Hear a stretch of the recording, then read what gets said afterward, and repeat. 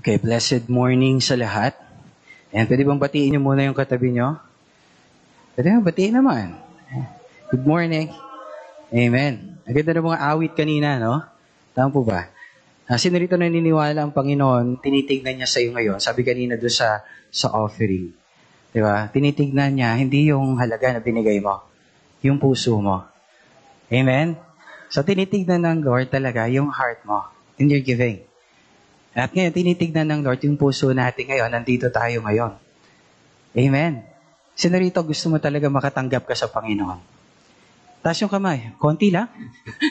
Taas yung kamay. Talagang gusto mo makatanggap ka sa Panginoon. Yung pupunta ka rito, pumunta ka rito, hindi sayang yung punta mo. Taas talaga yung kamay. Taas talaga yung kamay. Yan. Ayan, praise God. Yun sa mga nasa live, kita kayo ni Lord, di ba? Ayan, Lord, yung nagtaas talaga ng kamay, Lord, bigay nyo talaga lahat. Amen. No. No. Bakit po napakahalaga ng puso natin? Because that is the place where God, yung seed ng salita niya, doon na itatanim. Kaya napakahalaga kapatid, yung kondisyon ng puso mo ngayon. And ngayon, napakaganda kapatid. Kaya kung meron ka pang, uh, meron kang kilala na meron pang uh, puso na alam mo, sugatan, may mga pinagdadaanan, daming kabiguan, no? Ang daming mga negatibo. Kapatid, invite mo na. Oo, invite mo na yung mga nasa ano, no? Pag nandito, invite mo na lahat-lahat na may pinagdadaanan. Bakit? Alam niyo po, yung mga may pinagdadaanan, ngayon po, may gagawin ng Panginoon, I believe. Amen? No? Sino rito excited na ngayon? No? You know what? Yung title ng topic natin ngayon is Guard Your Heart. Is guard your heart. Sabi sa katabi mo, kamusta ang puso mo? Amen? No, guard your heart. Ah, tignan mo yung katabi mo, tignan mo eye to eye. Mo, kamusta ang puso mo? Amen? Kasi po napaka, napakahalaga ng kondisyon ng puso po natin. No, dapat po tama, maayos yung puso natin kasi lahat ng pag-usapan po natin ngayon, pag mali yung puso mo, sayang.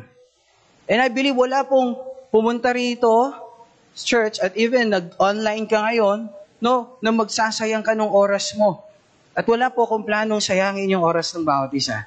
And right now po, tingnan natin, sabi, no, guard your heart. Sabi sa tabi mo, guard your heart.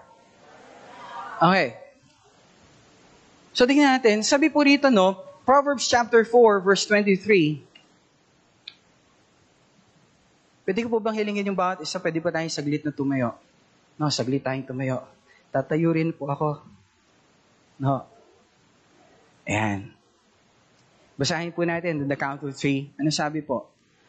Above all else, guard your heart, for everything you do flows from it. Let's pray. Father God, alam ko po, Diyos, wala pong kabuluhan yung anumang sasabihin ko rito kung ako lang po yung magsasalita. Kaya po, hiningi ko, Panginoon, gamitin niyo po kong kasangkapan. At Lord, naniniwala po ko that uh, when you impress, Lord, this message in my heart, I know, God, kasama dun yung kakayanan, kasama dun yung kapangyarihan, kasama rin dun yung karunungan para yung mensaheng ito ay, Lord, hindi po maging ma- maksaya, kundi, Lord, ito ay magdala ng pagpapala at pagbabago sa buhay ng bawat isa niyong mga anak. Kaya, Lord, sa oras po na ito, hiningi ko lang po na ang banal na Espiritu, ilapat po ito sa aming puso. Itama niyo po yung puso namin ngayon. Kung meron man po, Panginoong negatibo, meron man pong uh, pangit sa puso namin, may sugat. Lord, right now, ngayon pa lang, ningi ko na po, pagalingin nyo na. Upang sa gayon, Lord, ano man yung salita ninyo na ibababa po sa oras na ito, ay makuha po naming lahat at wala pong anumang masayang. At sa gayon, makontain namin to upang sa gayon yung mga tao rin po sa paligid namin na nagnanais din po, Lord, ng pag-ibig ninyo Lord, mabahaginan din po namin. Nung nag-uumapaw, dahil nga po wala ng tagas, mabahaginan din po namin sila. Nung nag-uumapaw na pagpapala, pag-ibig ninyo sa amin. Sa oras po nito, Panginoon, inaking ko na po yung tagumpay, pagpapala sa bawat isa. In person, even dun, nununod live stream, live, even sa mga manunood pa, dalahin ko po yung inyo pong pagpapala. Salamat po, salamat po. Sa pangalan ni Jesus, inaaking kito, inogasi po say, Amen and Amen. Palakpakan natin ang Lord. Amen. Okay, pwede na po tayo makaupo. Ayan. Okay. Salamat na lang po, nakaupo ako. No, hindi po pa pwede mag, masyado maglalalakad. Okay. Ah, so yung sa hindi po nakakaalam, ah, last time po, a month ago, J, ah, July 2, ah, July 3, 2 po ako na hospitalized. July 3, I was operated po, appendicitis. No po, I had my surgery. And, ah, kung tatanong niyo, Pastor, kamusta ka? May sugat pero hilom na. Okay ba yun? Okay ba yun? No, sugat pero hilom na. Salamat sa Panginoon. Amen. At patuloy po na uh, wala po akong na-miss na gawain. Live man po, no? Uh, doon pa rin po tayo. Kahit nahirap na hirap, medyo groggy pa tayo sa anesthesia. Sunday po yun, no? Uh, kinabukasan, afternoon. Pero salamat sa Panginoon. Amen. Okay. Pero sabihin mo lang sa katabi mo, guard your heart. Okay, kaya si pastor po may sugat, kaya po kung ako man po ay magsalita ng marahas, unawain nyo na lang po. Okay ba yun? Na wala po akong planong saktan kayo? Okay ba yun? Wala po akong planong magpatama. Wala akong planong patamaan ka. Kung may patatamaan naman ako, hindi ikaw yung katabi mo. Okay ba yun? No. Pero tignan niyo po ang ganda na sinasabi ng word. Sabi, above all else, guard your heart. For everything you do flows from it. Totoo, no, alam niyo po, uh, naalala ko po dati, si pastor po, alam niyo po ba, ano po ako noon, nung, nung bata po ako, accident prone. No, lalo nung wala pa ako sa Lord. No, uh, limang tahi po ito. Kita po, kita pa naman eh. No? Kita pa dyan? Sa mga nasa likod, kita rin. No, kita po medyo iba yung balat ko po, may, hu, may guhit. Limang tahi po yan, nahiwa po ng yero. Tumutulong ako doon sa nagagawa. And, you know what, di, tinahi po siya, so okay na, naghihilom. Okay, pero may sugat pa rin. Eh, but you know what? One time, uh, we're walking ng wife ko, palabas po dito sa compound. And you know what? Uh, hinawakan niya yung kamay ko. Anong simbolo ng paghawak sa kamay? Di ba? HHWW. Holding hands while walking. Ano yung sabihin nun? Di ba love, right? Pero you know what? Sabi ko, aray, ano ka ba? Birayin mo yun love yung binibigay ko, love yung binibigay niya, pero in return, negative yung reaction ko. Alam niyo kung bakit? May sugat. Kahit love yung binibigay, pag may sugat, ano reaction? Negative. Kaya mga sa leader, ready kayo ha? O, kung may mga pastor, nakikinig. No? Primary. Totoo lang, love yung binibigay natin sa tao, pero bakit nega yung reaction nila? Maybe there's something happening inside. Maybe there's pain, maybe there's hurt. Ngayon po, wala akong intensyong manakit, pero you know what? Merong negative yung reaction. Bakit? Ang gusto ni ang, ang layunin natin magtuwid, pero ang tingin nagpapatama. Amen. Pero yung puso po na tama, kaya dapat pusong dalisay. Because sabi ng word, sabi ng Bible, blessed are the pure in heart, for they will see God. Pag hindi pure yung heart natin, hindi natin kailanman makikita yung Diyos. Are you listening? No, kaya tignan po natin, sabi, above all else, guard your heart. And you know what? Ako rin po, after nung surgery ko, no, after po ng surgery ni Pastor, di balik ako sa bahay, of course, no, medyo hirap pa, akyat ka ng hagdan, third floor, di ba? Tapos dumati anak ko, sasalubungin ako ng anak ko. Ano, yayakapin ako, lalo yung bunso ko, si Kay. No? Eh, syempre, ang, ang ulo niya, ang doon sa baywang ko, di ba? Sa may bandang tiyan mo. Ha? Anong bibigay niya? Yakap. Pero ano reaction ko? Ah, ah, wag. Nako niya ko? Ano, ano sa tingin niyo pakiramdam ng ano? Bakit? Parang ganun, di ba? Love naman bibigay ko eh. Bakit? Kaya lang bakit? Kasi may sugat. Amen. Tingnan mo yung katabi mo. Sabi sa katabi mo, kaya pala. Amen. Bakit ganun yung reaksyon? Positive naman yung binibigay, negative yung reaksyon. May sugat. Sabi mo sa katabi mo, kaya pala. So, you know what? Just an illustration, di ba? Parang, uh, sino rito po, wala lang kasi tayong mug, no? Pero itong baso, no? Kunyari, ito, baso, di ba? Okay. Minsan po, nag-serve yung wife ko sa akin ng kape, mainit na kape. No? Kaya lang, di, hindi ko muna pinansin, sinerve niya. Tapos pagtingin ko dun sa kape, bawas na. Sabi parang bumaba. Sabi ko, ay siguro kasi, di ba yung mainit, pag lumalamig, di ba kumukonti, medyo nababawasan. Kasi pag mainit, expands, no, nag-expand, pero pag lamig, kumukonti. Pero sabi ko, higit yung ano eh, sobra. But you know, pagtingin ko, mayroong kape dun sa paligid ng mug. Yung, yung paligid ng mug, yung pinakapit ng mug, merong bilog na kape. Sabi ko, bakit? Wala namang natapon, wala namang tumabig. Di ba? Sabi ko, wala naman akong katabi. Andun yung wife ko. Eh no, pagtaas kong gano'n ng mag, may lamat. May lamat yung mag. Eh, di ba pag may lamat, mainit, nag expand Tama? No, hindi mo siya mapapansin pag malamig kasi nagpapawis yung mag eh. Pero, nung mainit, lalo na lumabas talaga yung kape. No, yung laman. Ang init, ang sarap ng kape, pero bakit tumagas? Kasi po may lamat. Kaya kapatid, kahit anong init ng pag-ibig ng Diyos, kahit anong sarap ng pag-ibig ng Diyos, kung may lamat, magugulat ka na lang, mamaya-maya tumatagas. Magugulat ka na, you don't even have enough for you. Kaya sabi mo sa katabi mo, ingatan mo ang puso mo. At tanungin mo yung katabi mo ngayon, kamusta ang puso mo? No? Kasi alam niyo po, totoo lang, love yung binibigay nila, pero hindi nila, no, the person, no, love yung binibigay sa akin ng anak ko eh, pero hindi nila alam kung ano yung pinagdadaanan ko.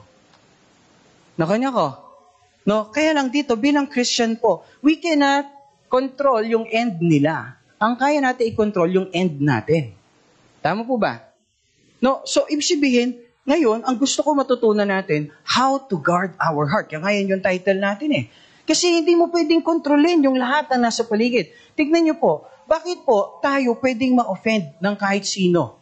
Unang-una po, no one is perfect. Amen? Totoo po ba to? No one is perfect. Yung katabi mo, sino rito aamin, yung katabi mo hindi perpekto.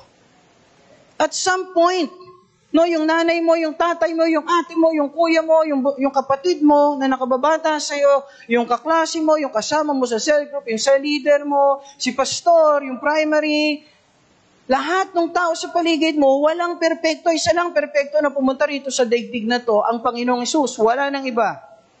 But even si Jesus na perfect, may mga taong na-offend din sa Kanya. May mali ba kay Jesus? Wala. Yan yung pag-uusapan natin mamaya. Isa pa yung uniqueness. You need to acknowledge yung uniqueness.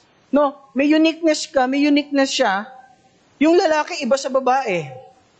May iba yung needs ng lalaki sa babae. Maraming mag-asawang naghiwalay because they did not understand the uniqueness of yung, yung bawat isa. Bakit? Eh yung lalaki, iba sa babae, iba yung babae sa lalaki. Right? Iba yung need ng lalaki, iba yung need ng babae. Kaya lang nung naghanapan sila that doing their part, they got offended and because of that, nag-decide na sila na maghiwalay.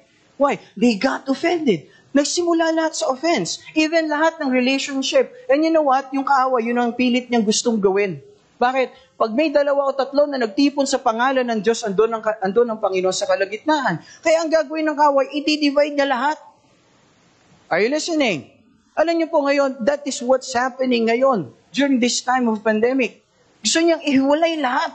I-separate ang lahat. I-disconnect ang lahat. And the word pa nga na ginamit, social distancing. No, it's just physical distancing.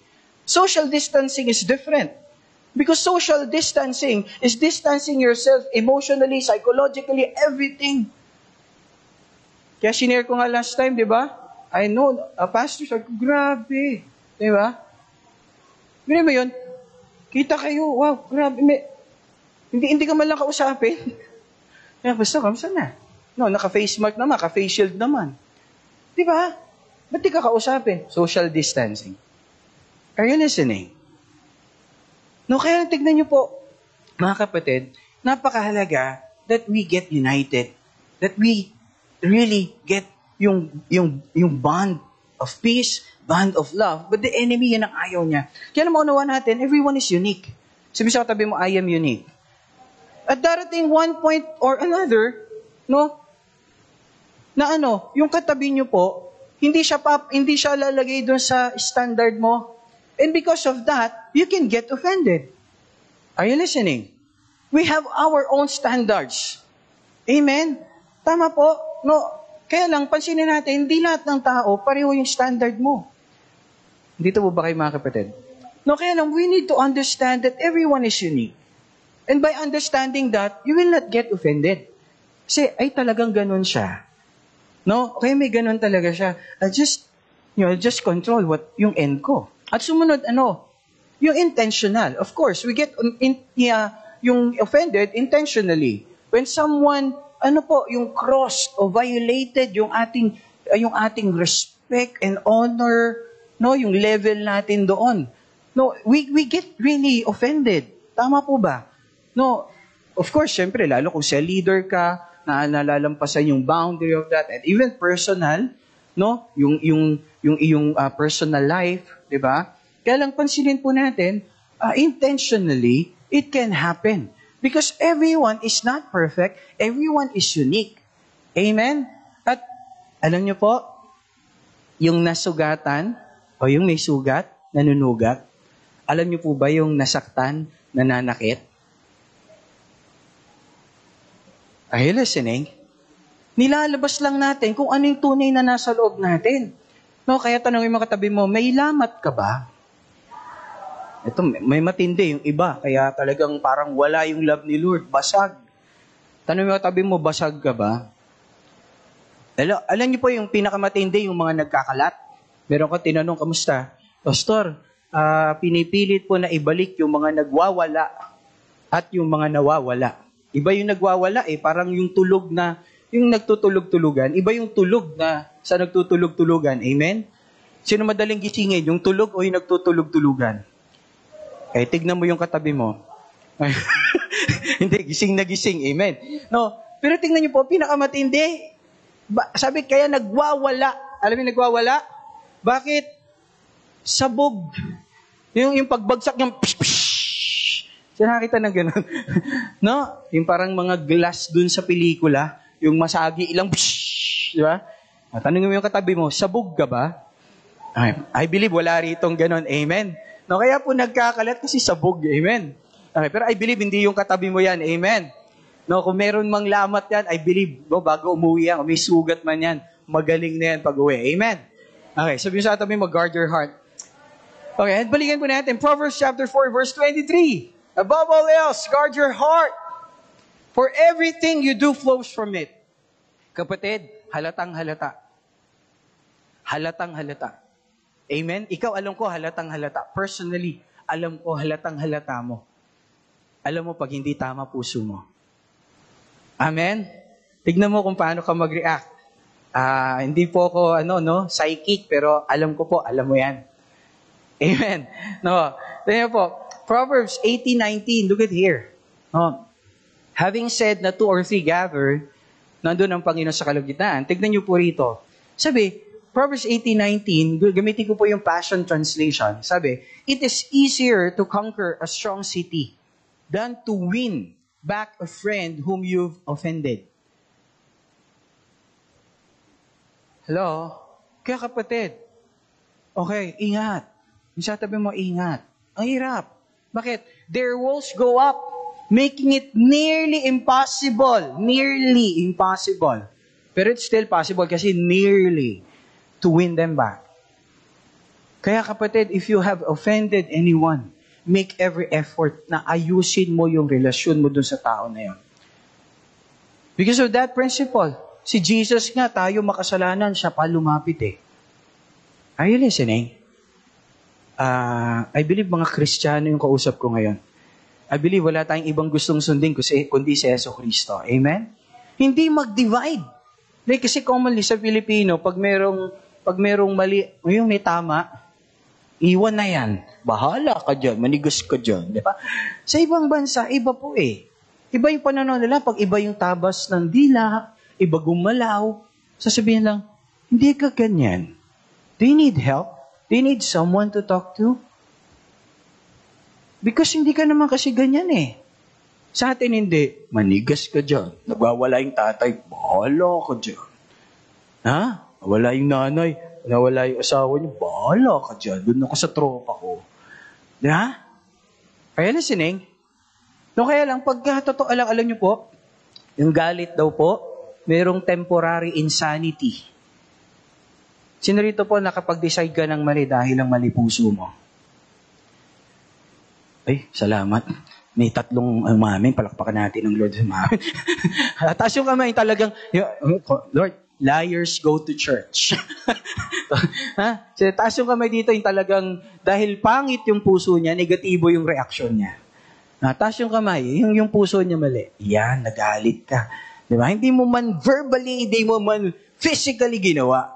Nag-isip ka sa puso mo, nagtanim ka ng galit sa puso mo, which is very wrong. Amen?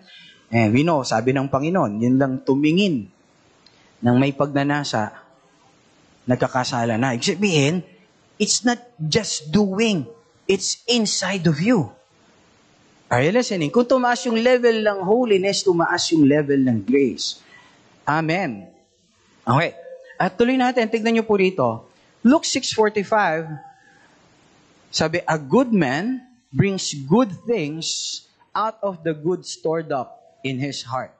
And an evil man brings evil things out of the evil stored up in his heart. Ano raw po nagdi-differentiate sa kanila, yung good at yung evil? Kung ano yung naipon sa kanilang puso. Tanong mo katabi mo, ano ba naiipon dyan? For the mouth speaks what the heart is full of. Nilalabas mo lang kung ano yung basura o pagpapala na nasa iyo. Are you listening? No, kaya kapatid, no, alamin natin, nuwa natin, when there are people who really raise their sentiments, ano, naglalabas ng mga sama ng loob nila, unawain mo lang, mayroong munang nangyari doon sa loob. Are you listening? No, just listen. Kaya po napakalaga that we listen. And we hold our end. Lalo sa mga mag-asawa, iba po talaga eh. No po, kaya lang tingnan natin, uh, unawain natin, yun ang pinakamagandang gawin natin, na ano, kaya to nagsasalita ng ganito, may nangyari. Ano gagawin natin? Tulungan natin na maayos yun. Tulungan natin na maalis yun. No, ipag-pray natin yung tao. Tingnan niyo po to. Ano nangyari? Si Jesus Christ. Si Jesus Christ kasi nung panahon niya, marami rin pala siyang kasama pero hindi niya kaisa. Tanong ko sa inyo, meron bang mali kay Jesus? Meron bang mali sa tinuro niya? Meron bang mali sa ugali niya? Merong bang mali sa pagsasalita ng Panginoon? Pwedeng ako may mali. Kasi hindi ako si Jesus eh. Pero si Jesus, perfecto na, and I want to give Him as an example. Tignan niyo si Jesus, perfect na. Kaya kapatid, yung mga sa leader na nang, nanghihina kasi baka mamaya dahil there's something wrong, the people, no, yes, maybe, mag-check tayo kung may mali. Pero it's not always you. Because you can only hold your end, yung end nila. Kaya gusto ko ngayon, turuan yung bawat isa. You need to learn how to guard your heart. Because yun yung pipigil para, ano, hindi mo matanggap kung ano yung dapat bigay ng Lord at hindi ka niya madala doon sa lugar at estado na gusto niyang paglagyan sa'yo. No, tingnan niyo po, ano sabi? In John chapter 6, there's this story that Jesus, nagtuturo siya sa kanyang mga alagad. Okay, in Capernaum, sa kanya pang hometown. No, pero tingnan niyo po, sabi rito, John 6, 55, 54 to 56, he's teaching about communion. Mamaya magko-communion tayo. I hope walang ma-offend. ano sabi? Whoever eats my flesh and drinks my blood has eternal life. And I will raise them up at the last day. For my flesh is real food and my blood is real drink. Whoever eats my flesh and drinks my blood remains in me and I in them. Ano raw, kakainin natin yung laman niya? Eh, inumin natin yung dugo niya? Ano to? Anong teaching to? Tanong ko sa inyo muli, may mali ba sa turo ni Jesus? Wala. May mali ba kay Jesus? Wala. May mali ba sa ugali ni Jesus? Wala. He is perfect. But the thing is, alam niyo po, yung reaction ng mga disciples niya that time. Ano po nangyari? Kasi ngayon, I, I might offend you on how I preach and how I teach. I don't know. No. Because, syempre nga, iba-iba tayo, unique tayo. Tama po ba? Hindi ako perfect. At hindi ka rin perfect. Amen? Maybe yung imperfection nating dalawa, hindi mag-jive. Right? No, kaya lang tingnan natin, and intentionally, maybe when I when I crack jokes, pwede kang, pwede kang taman, or even with the words and examples that I preach, pwede sabihin mo, eh, parang ako yun. Pero wala po ako intention na gano'n. No, may gusto man akong patamaan yung katabi mo, hindi ikaw. Okay. Okay, pero tingnan nyo, na-offend sila eh. Tingnan nyo, paano ko nasabi? Ano sabi ng verse 61? Aware that his disciples were grumbling about this. Nag-usap-usap na, pare, anong teaching to, pare? Kakainin natin yung laman niya? Inumin natin yung dugo niya? G- ganun yun. Diba? Sabi, Jesus said to them, Does this offend you? Wow. Alam ni Lord what's happening to them. Disciples sila ni Lord, kasama sila ni Lord. They saw the miracles that Jesus did. Pero you know what? Hindi sila kaisa ni Lord. Bagong teaching to. Lalim. Di ba? Ano nangyari? They got offended. No.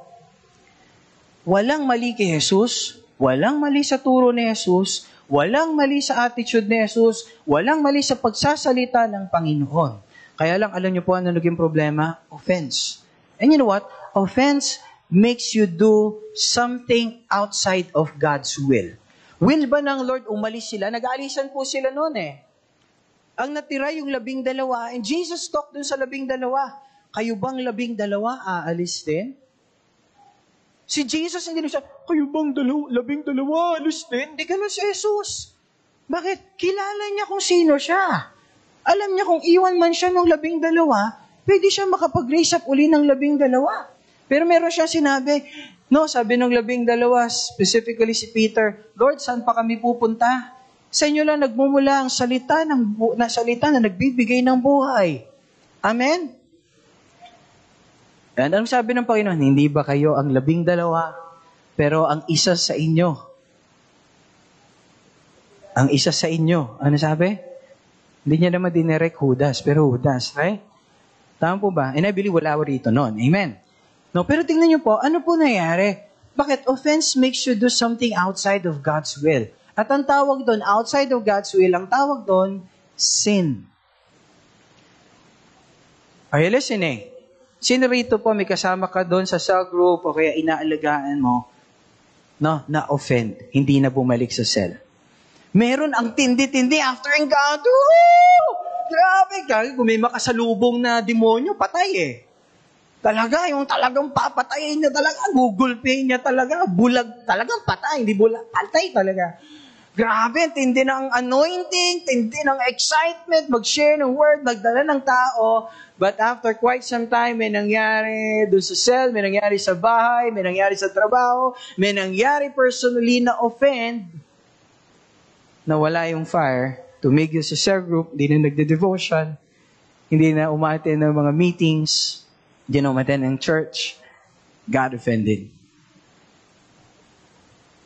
I, I've talked to a lot na, alam niyo po, some, sometimes yung mga nag-visit sa atin, I just call them visitors.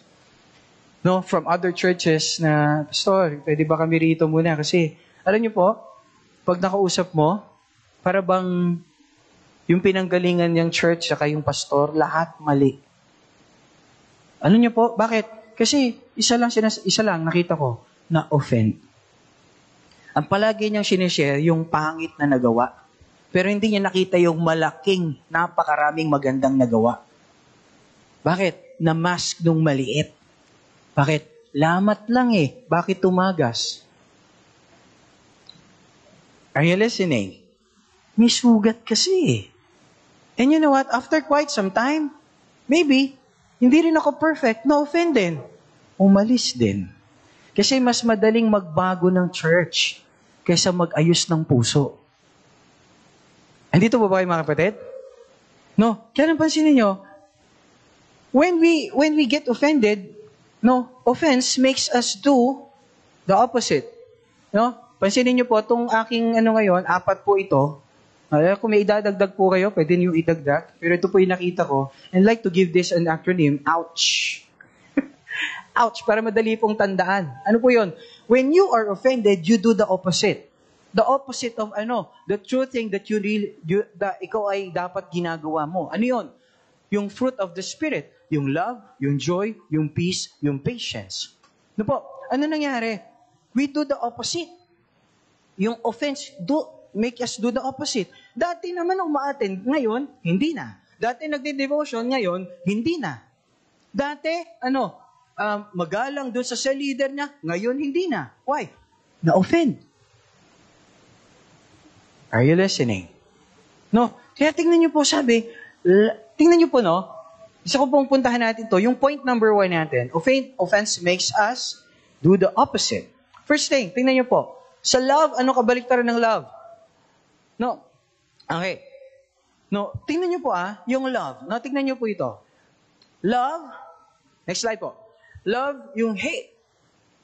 Tama? Sino rito po yung dati mahal, yung, alam mo yun, yung mahal na mahal ka, biglang sumunod parang nagbago. Yung ba na to? Parang sinasalakay na ako.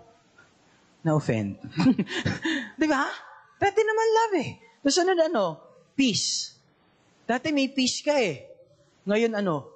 Hindi ka na makapag-pray. Bakit? Bago ka mag-pray, naalala mo yung, yung gumawa sa iyo ng mali. Tapos, bago ka matulog, hindi ka balisa ka. Tapos pagdating na umaga, ganun din, naalala mo yung offense sa'yo. Yung naka-offense sa'yo. No? Pag makasalubong mo, kala mo siya, yung katulad ng damit niya, yung forma niya, kala mo siya, malayo pa lang, eh medyo malabo pa yung mata mo. Huh? Kakawashin nyo! Siya nga, punta doon sa kabilang daan, di ba? No, pero yun, walang peace, patience. Yung iba, nawala yung patience because God, they got offended. Ano nangyari? Nagmadali. Nagmadali ng desisyon, nagpadalos-dalos. Sino rito po yung, sabi mo, bakit ko ba nagawa yun? Sino rito yung ganun? Kasi you got offended. Nagalit ka, sinapak mo, pak! What ka ginawa yun? Kaya pinacebook mo, nilait mo. Bakit mo nilait pagkatapos nun? Ba't ko ba pinacebook? Mali yung ginawa ko. Eh, ginawa mo na, wala na. Yun, the harm has been done. Amen. No, kaya tingnan niyo po, patience. May, sino ito niwala ay nagmamadali, madalas nagkakamali. Ay mga kabataan, maunawaan niyo yan, ha? Okay, when you got offended with someone, don't find love with someone else. No? Nagalit ka sa nanay tatay mo. Nangyari, dito sa bahay, wala nagmamali sa akin. Buti pa si Pogi, panayang chat sa akin. Oh, bato-bato sa langit, tamaan, mapunta sa langit. Amen. Ano mo yun? Isa pa yung kindness, nagiging cruel. Nagbabago. Oh, tapos ano, yung goodness, nagiging wicked. Nagiging unrighteous na. Mali na yung ginagawa. Oh, kasi bakit ko po yung example to? Nakita ko sa sarili ko. The time that I get offended, naghahanap ako ng ano, ng pwede kong labasan. To satisfy that. Pero nakita ko mali. Personal po to. Hindi ko po, wala po ko in example. Sarili ko, tinitignan ko, nga, Lord, no? Pati faithfulness. No, nakikita ko rin yung faithfulness ko sa Lord. Naapektuhan. Bakit? Ang hirap mag-pray. Ang hirap mag-pray, ang hirap magbasa ng Bible, nagugulo yung isip mo. Ano po? Yung gentleness din, nawawala yung gentleness mo, nagiging negative yung reaction mo doon sa dati mong mahal. Even with my wife, no? She's watching right now. Alam niyo yun. Alam niyo, pag may sugat ako, bakit? Iba reaction ko. No? Kaya tingnan niyo po, isa pa. No? Eh, yung mga anak ko, paglalapit, ala, ano ba? Love naman, napapatingin sa akin ganun yung bunso ko. Di ba? Nawala yung, oy, dati kinakadel ko siya pag niyayakap niya ako. Pero ngayon, iba. No? Isa pa yung self-control. Nakalimutan natin yan. We forget about that. No, nababago yung nababago yung discipline natin. No? And point number two, holds us to understand. Ito yung you. To understand the message of God. Hindi maintindihan. Kaya kapatid, kung merong hindi mo maintindihan, no? Hindi dahil sa hindi nag-prepare si pastor. Baka may sugat puso mo. Are you listening? Hindi, tama yung puso mo, kaya hindi ka nagno-notes, kaya hindi mo maintindihan. Kasi mamaya, maintindihan mo pag nagsulat ka, pag binasa mo uli. okay, kaya encourage everyone po, no? Yung hindi pa nakakapag-notes ngayon, dapat culture natin yan. Kung sa school nga, wala kang namimiss sa teacher mo, dito pa. Okay? No, yung mga bago po, it's okay. Pero next time po, maganda, maging culture natin yan, magsusulat tayo. Because note takers are history makers. Amen? Okay. So tuloy po natin, no? Holds us to understand the message of God. Kaya po merong hindi makaintindi. Sarado, kahit na ang sarap-sarap ng binibigay ni Lord, no? No-offend. Ngayon, baka no-offend. No, sinabi ko, oy, mag, next time magno-notes tayo. Na-offend. Next week, wala na. na-offend. O wala, wag ma-offend ha. Hindi ko pinapatamaan ko yung katabi mo na walang notes, okay?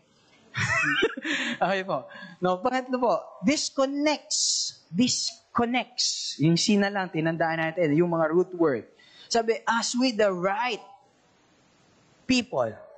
Sabihin ko sa inyo, they are not perfect. But they are the right people. They are not perfect. Maybe they have offended you from, I don't know, in the past. Pero I tell you, they are not perfect, but they are the right people. And God allowed that situation, that offense, to mold you also. Pinahintulutan ng Lord yung offense na yun. Bakit? Para ayusin din yung puso mo, maging matibay ka.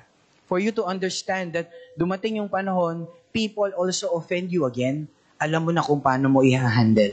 Okay. So, alam niyo po, isa, it makes us doubt people. It makes us doubt God. Tama ba? Kasi pag, pag ka na-disconnect ka, nagda, nagdi-disconnect ka, di ba? Nagdududa ka na doon sa tao. Nagdududa ka na rin sa Diyos. Nagdududa ka na doon sa church. Nagdududa ka na doon sa mga tao sa paligid mo. Why they have offended you? Kala ko family ko kayo. Right? Kaya napansinin natin, no one is perfect. Kung maitatatag mo yan, maunawaan mo yan, everyone is not perfect. Everyone is not you. Huwag mo laging standard mo sa kanila. They are different. Amen. No, wala magkapareho ng iris, wala magkapareho ng fingerprint sa buong mundo. Nag-iisa ka lang sa daigdig na to. Amen? No, kaya lang pansinin natin, we need to understand that uniqueness. And everyone may offend you from quite some time or one point or another, I don't know. Pero darating yan. And tignan nyo, maunawaan natin to in John 1.29. Ito yung dumating si Jesus Christ. No, nakita siya ni John the Baptist. Anong sabi ni John the Baptist?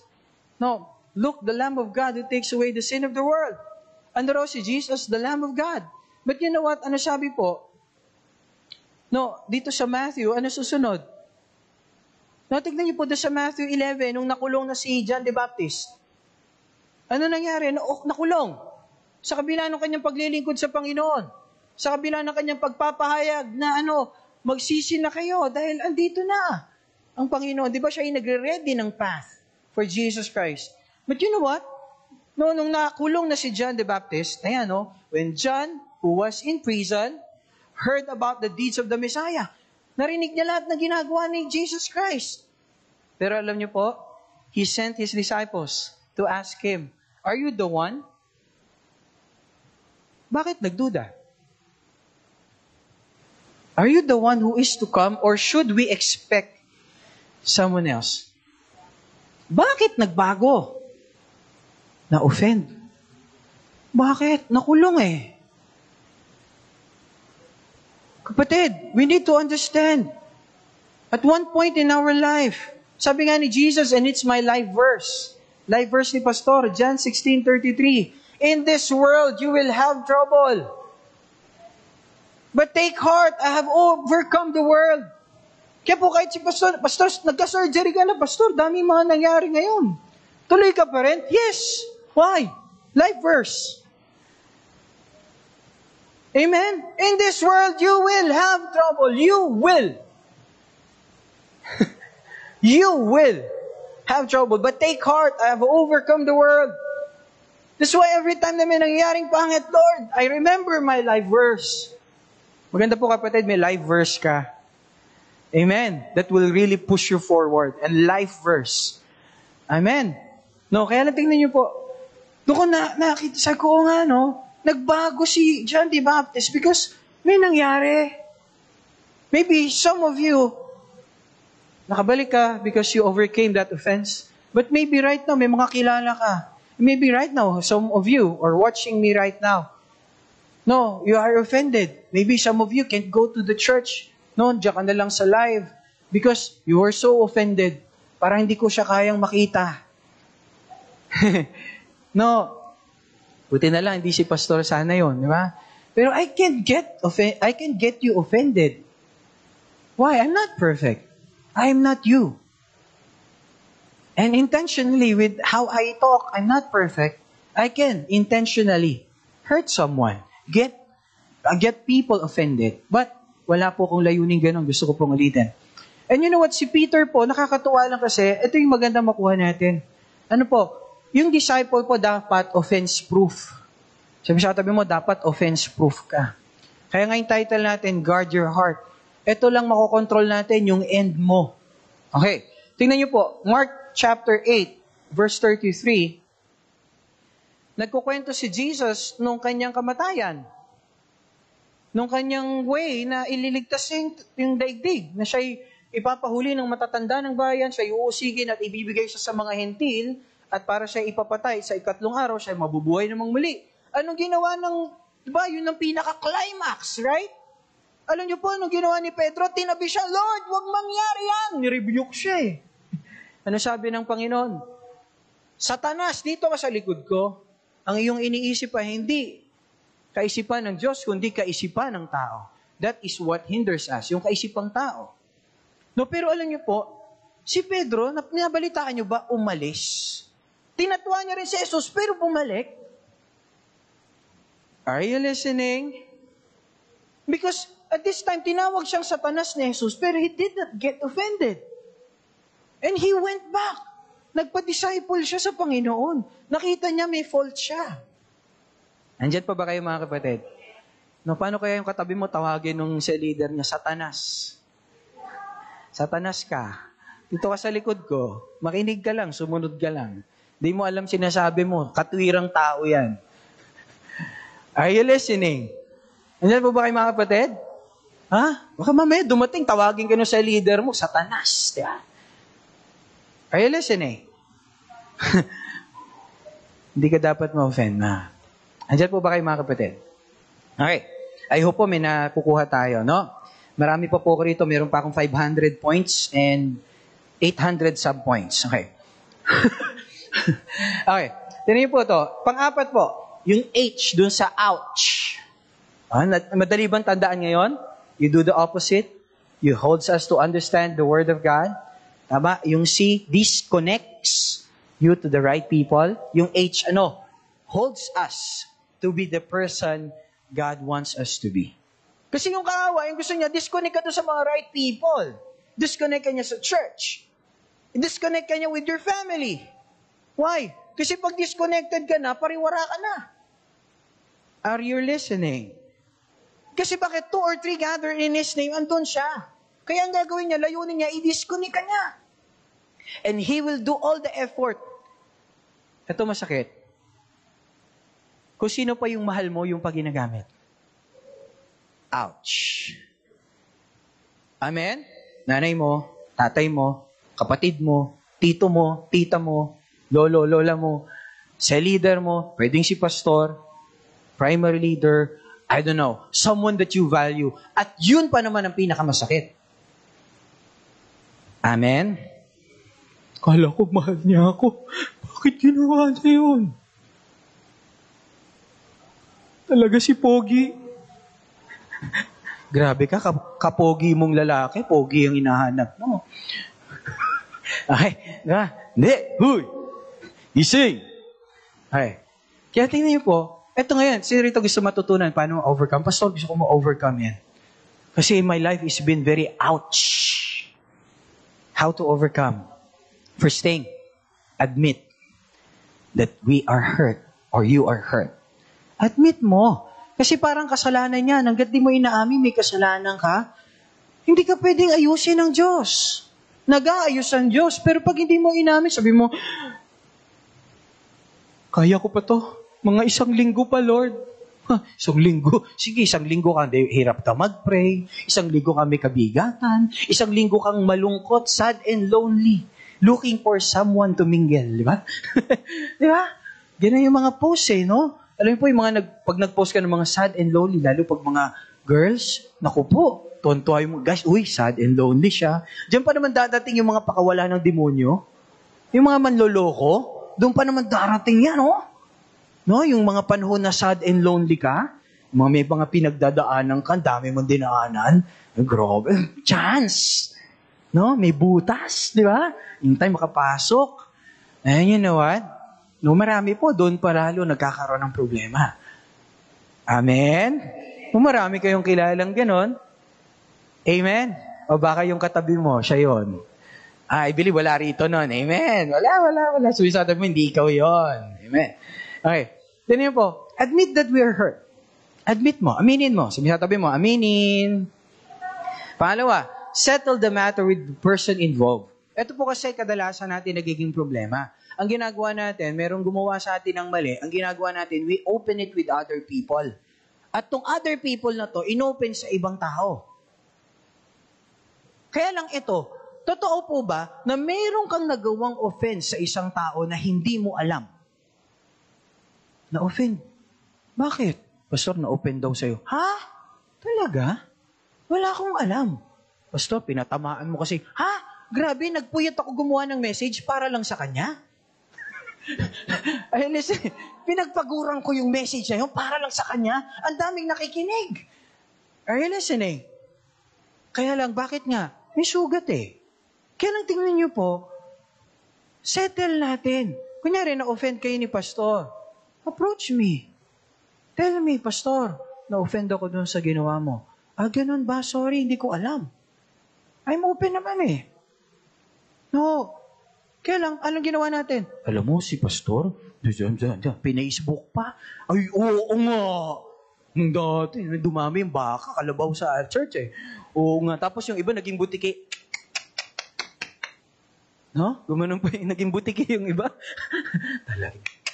Ganon lang, yun. Di yung TSK, TSK, di ba? Ano, no? Oo nga. Diba? Imbis na alam niyo po yun, lumaki yung problema, tanong ko sa inyo, naayos ba? Nagawa ba natin yung gusto ng Panginoon? Na mabind tayo with love and unity, yung peace, na wala. Tapos dumating yung time, nagkabatiring kayo. Kaya po yung mga mag-asawa, kung meron man nagawa yung asawa ninyo, huwag nyo pong isumbong dun sa mga in-laws, yung mga ano nyo, parientes nyo. Sisiraan nyo yung asawa nyo dun sa nanay at tatay mo. Bakit? eh mag-aayos din naman kayo eh. Darating yung panahon mag-aayos kayo, kaya lang nasira na yung image ng asawa mo na dating gusto-gusto naman ng mga magulang mo. Di ba? Kaya nga pinakasal sa iyo kasi gustong-gusto ng magulang mo eh. Tama? Kaya pumayag? Kaya lang dahil doon sa kinuwento mo na pangit nung kayo mag-asawa na dahil wala naman perfectong asawa. Amen. Kaya lang sinumbong mo yung imperfection ng asawa mo. Ngayon, yung nanay at tatay mo, may galit na ngayon sa asawa mo. Are you listening? Kaya tingnan natin, hindi na ayos. Kaya ano, isettle natin yung matter with the person involved. Huwag nating pag, no, pag-usapan natin, huwag nating pag-usap-usapan. Bakit? That's rebellion. No, kaya po, I, I talagang ano, kung may usap po kayo kay pastor, approach me. PM me. Oh, PM me. No, kaya may offense kayo dun sa cell leader ninyo, make it to a point, no? Pero hindi madali. Pero tingnan natin, let's make that stand. Tama po ba? Just like the Lord. Pero hindi po madali yon. But is stand of faith. Right? Na ano, makipag-ayos. Are you listening? Kung hindi, approach a spiritually mature person. No, meron lumalapit sa akin, Pastor, ang bigat po kasi. Bakit ano nangyari? Kasi ganito po, Pastor. Ah, ganun ba? Sige, kausapin ko. Nako niyo po ako. No? Kausapin ko, wag niyong pausapin yung mga nando sa baba o ka-level mo lang. Wag! Iba papayo sa iyo niyan. Uy, talaga, ganun siya? Uy, talaga? Yun na, sira na. Imbis na maayos natin, nasira. Are you listening? Sino ito niniwala yung dila ay parang apoy? Pwedeng sumunog ng forest. Amen? Tama po ba na sa Bible ba yon? No, kaya po, wag na, pag-usapan natin, wag nating pag-usap-usapan. If you really talaga mabigat, Pastor, find help to a spiritually mature person. Okay po ba? Okay, so tuloy natin. Tingnan niyo po kasi, Ephesians chapter 4, verse 1 to 3, ano po yung advice ni Apostle Paul? Sabi po ni Apostle Paul rito, As a prisoner for the Lord, then I urge you to live a life worthy of the calling you have received. Sabihin, kapatid, may, let's stand to be worthy of the calling. Yung sabihin, kung tinawag ka ng Lord, nilagay ka niya doon sa church, nilagay ka niya doon sa cell, no, wag kang umalis, nilagay ka niya sa pamilyang yan. Hindi aksidente yung siya yung nanay at tatay mo. Hindi aksidente siya yung siya leader mo. Hindi rin aksidente siya yung boss mo. No, kaya lang, ano po gagawin natin? Tayuan mo kung ano yung faith mo. Be worthy of your calling. You're a Christian. Ang ina-acknowledge nila, katulad ni Kristo, nandun na sa cross, wasak na yung katawan. Pagdating pa rin doon, nagpapatawad pa rin. Ama, patawarin mo sila, di nila alam kanilang ginagawa. Amen. Hindi nila alam na offend nila ako. Hindi nila alam na offend nila ikaw. Amen. Totoo po ba? Ang ganda ng prayer na di nila alam na offend nila ako. Lord, di ba? Si David po, ang ganda nung example ni Pastor last, last time, di ba? Si David pumatay kay Goliath. Nung papatayin niya ba si Goliath, nakikita ba nung mga kuya niya yon? Ang nakikita nila, si David pasaway. Ba't nandito ka na naman, iniwan mo na naman yung mga tupa ng tatay doon, walang bantay. Pero actually may bantay. He's responsible. Amen. He knows that. He's the next king. He's the coming king. Amen. He's the anointed king. No, pero alam niya, meron siyang anointing. Hindi niya pinansin yung kuya niya. Hindi niya lang inayaan. Naki, tumawag siya, ano ba bibigay doon? Ano ba bibigay doon sa makapatay doon sa, sa Goliath na yun? Yung higanting yun, kayang-kaya ko yun eh. Nakukuha niya ko? Hindi niya inayaan yung offense. Kasi kung hindi, hindi niya napatay si Goliath. Are you listening? No, kaya lang tignan niyo po rito. No, yung wise person, yung taong may faith, he overlooks an offense. Nasa Proverbs yan, right? No, pero hindi na natin pupuntahan. Tignan niyo po, ano sabi ni Apostle Paul? Verse 2, Be completely humble and gentle. Ito po, hindi po para sa katabi mo. Para sa iyo to. Are you listening? Be completely humble and gentle. Be patient. Sabihin, lahat ng tao pwedeng magkamali. Lahat ng tao na maaring ngayon inasaan mo, pwedeng bumagsak at a time, at a point in time. Pwede. Pero ano, be patient. Bearing with another in love. Oy, pastor, in love daw. Dapat in love. Di po? In love. Yung love ng Lord. Are you listening? Yung kahit may nagawang mali, naunawaan niya pa rin. At ang sabi niya, hindi nila naunawaan ang kanilang ginagawa praying, forgiving, and make every effort, sabi ng verse 3, make every effort to keep the unity of the Spirit. Unity. Sabi sa tabi mo, unity. Of the Spirit. You know, through the bond of, through the bond of, say that word, peace. Sabi sa tabi mo, peace. Sabi sa tabi mo, peace be with you. Amen. Amen. Are you listening? Ang mga mag-asawa, may mga mag-asawa ba dyan? Kami sa katabi mo, kung katabi mo asawa mo, peace be with you. Amen. Doon sa mga cell member dyan, mga cell leader, no? Katabi mo, sabi, peace be with you. Amen. okay po. Familiar, right? number three. Okay. Ano ba number three? Gusto mo lumaya? Okay. Una, ano una? Admit mo, may mali. Tapos ano sumunod? I-settle mo. No? I- make, make connections with the person, uh, a spiritually mature person. Okay, para matulungan ka. Okay? At sumunod, bless the person. Ibig sabihin, you bless that person. Bakit pastor nauna yung bless? Kasi mamaya po, forgive eh. Bakit nauna yung bless? Mas madali ka na mag-forgive pag pinag-pray mo na siya. Amen? Pag pinag-pray mo na siya, i-bless siya ni Lord. No, tingnan niyo po, Matthew 5.44, ano sabi ni Jesus? But I tell you, love your enemies and pray for those who persecute you. And in this moment, hindi po madali sa mga disciples yan. Because this time, sila po ay sakop ng mga Romano. Sila po ay pinahihirapan. Sila po talaga ay lahat ng property nila, kung ano magustuhan ng mga sundalo, kinukuha. At even greater things than that, even talagang grabe. No, grabe talaga yung ginawa sa kanila na talagang minsan torture na sa bawat araw. But you know what? Nasabi ng Lord, love your enemies and pray for those who persecute you. Amen. Okay. If you're looking at your the person who offended you as your enemy, pray for that person. Amen. Okay, at number four, forgive the person. Madali na po to pag nagawa mo yung three. Amen? And you know what sabi ng Matthew 6.12? Okay, if you're taking down notes, Matthew 6.12, sabi, And forgive us our debts, as we also have forgiven our debtors. Totoo po ba, turo ng Lord yan? It's a pattern. It's a standard. Patawarin nyo kami gaya ng pagpapatawad namin sa nagkasala sa amin. Paano ko hindi ka marunong magpatawad? Paano ko nagpatawad ka pero may natitira?